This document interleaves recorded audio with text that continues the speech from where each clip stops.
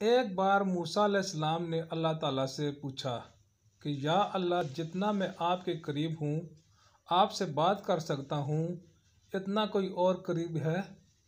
अल्लाह ताला ने फरमाया, ए मूसा, आखिरी वक्त में एक उम्मत मोहम्मद सल्लल्लाहु अलैहि वसल्लम की होगी और उस उम्मत को एक महीना ऐसा मिलेगा जिसमें वो खुश्क ओंटों प्यासी ज़बान, सूखी हुई आँखें भूखे पेट जब अवतार करने बैठेगी, तब मैं उनके बहुत करीब हूँगा मूसा, तुम्हारे और मेरे दरमियान सत्तर पर्दों का फासला है। लेकिन अवतार के वक्त उस उम्मत और मेरे दरमियान एक पर्दे का फासला भी नहीं होगा। और जो दुआ वो मांगेंगे, इसे कबूल करना मेरी ज़िम्मेदारी होगी। सुबहान अल्लाह अगर मेरे बंदों को मालूम होता कि रमज़ान क्या है तो सब तमन्ना करते कि काश पूरा साल रमज़ान ही हो।